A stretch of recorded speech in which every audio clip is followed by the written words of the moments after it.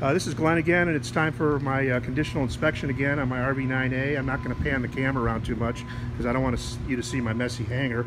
But we're here, we're here with AJ again, who's a A&P with inspect, inspector authorization, and we're going to show you how to do a compression test. And this is uh, on my uh, Lycoming 360. So AJ, it's all yours. Hi, Glenn. Hi, AJ. okay, compression test time again. First of all, you've got to have a compression tester such as this one right here. We've got it plugged into air right now. You'll see that the air gauge is at about uh, 85 pounds. This, this side is at 80. We have a master orifice on this uh, compression tester. We can relieve that pressure, which we just did. And now we have, we have pressure over here. We can put the master orifice back on. We still have zero pressure. You want to make sure that you have zero pressure on the hose because when you plug it into the uh, cylinder, you don't want that prop to spin on you. We also have, right here, we have the, uh, uh, the, the adapter, spark plug adapter. You'll notice that there's an O-ring right here. This will give us a good seal against the cylinder when we put, plug this in. Now get down here, Glenn, and we'll be inserting the uh, insert in here. Turns in pretty easily. You got to make sure that you're in alignment, that you don't have any cross-threading going on. And there we go. She's all set. Now I'm going to give it a little bit of torque so that that O-ring is uh, seated real firmly onto the cylinder. There we go with the spark plug uh, uh, wrench. Put that in the pocket. So it's pretty much just a hand torque is all you need? That's all you need is a hand torque because that O-ring seal will, will uh, seal up the uh, uh, cylinder for you. All right, so here we have our compression tester. Next thing we're going to do is we're going to put thumb pressure on the on the uh, input of the uh, adapter. Then we're going to take the prop and we're going to turn the prop until we feel thumb pressure. Feel pressure on the thumb through the adapter, and it's starting to come up on, on pressure right now.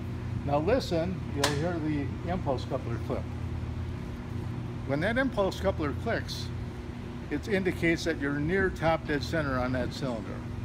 Uh, impulse couplers are set up to do that because that's how you get your, your engine started. okay, so now we have zero pressure here. So we know that there's no pressure, but we're still going to hold on to the prop and plug the uh, compression tester into the cylinder. All right, now, we'll look over here again. Now we're going to start applying pressure and we're going to give it just a little bit of pressure here.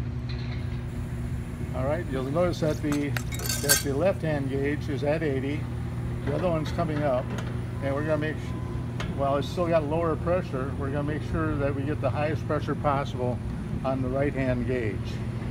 Now we can, when at this point in time, if you're real dumb, you can let go of the prop, but you don't want to be real dumb. And just a note for the record, even though it looks like I'm right in the prop's path, I'm outside of the prop's That's path. That's right. Now we're going to increase the pressure all the way open on this valve. You'll see that our air pressure is 80. It's a shade around 80. And on the right gauge, we are at 76 pounds.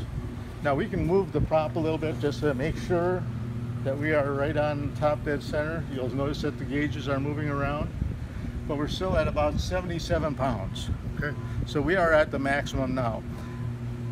And so we record that reading of 77 pounds. This is cylinder number two onto our, our inspection sheet. Okay.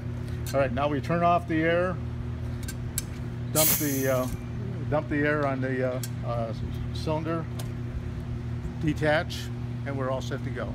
Okay. You have just done that. Now we go on to the next cylinder. Now on a Lycoming, We've already done number one and number two, but on a Lycoming four cylinder, the firing order is one, three, two, and four. So we only have to go around one, uh, one revolution on the prop to get to the next cylinder.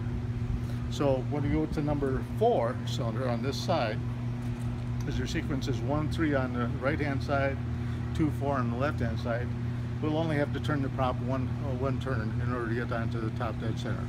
Okay. Thank you. Thank you.